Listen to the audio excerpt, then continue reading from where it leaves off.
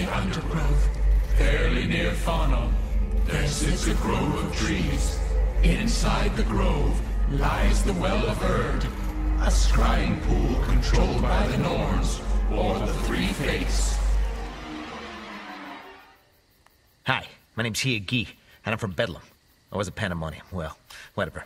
I'm the best sodden thief and Mimir recorder in the Outlands, and don't let anyone tell you otherwise. I like to talk, but I can also put a lid on it, man. You know? I'm not one to rattle on and on like some berks I know, but they still say I talk too much. It's not true. Anyway, I'm here in the realm of the Norns to take a look into the scrying pool. They said I should check this place out, and I figured I might as well take a quick glimpse into what the future's got in store for me. All right, there's no Norns around. Little gray witches always scare me anyway for some reason.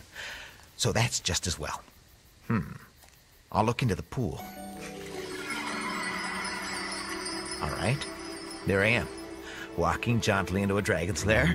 I'm talking to something I'm holding, but I can't see what. Hmm. Now all I see is a mouthful of teeth, like a dragon's. Then there's an hourglass.